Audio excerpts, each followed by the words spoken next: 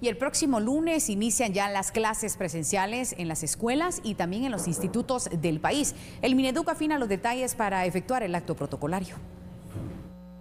2.5 millones de estudiantes matriculados en el sector público iniciarán clases presenciales en los diferentes centros educativos públicos el próximo lunes 20 de febrero. Autoridades de educación prevén arrancar ese día con la entrega de los programas de apoyo como la refacción escolar, que ahora también incluye a estudiantes de básico y diversificado.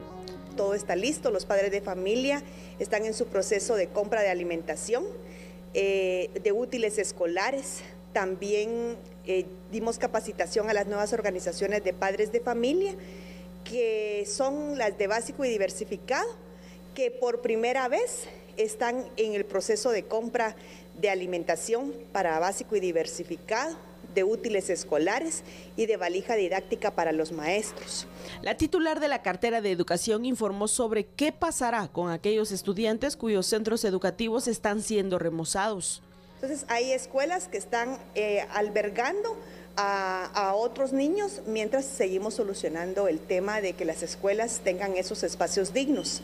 Nuestra meta este año es poder llegar a un promedio de 11 mil escuelas. No, eh, eh, la mayor cantidad de escuelas están trabajando a través de, la, de recursos nacionales, pero es importante reconocer que tenemos recursos que se ejecutan a través de UNICEF para remozamientos de escuelas en Quicheto, Tonicapán, y Huehuetenango a través de asignaciones de, USAID.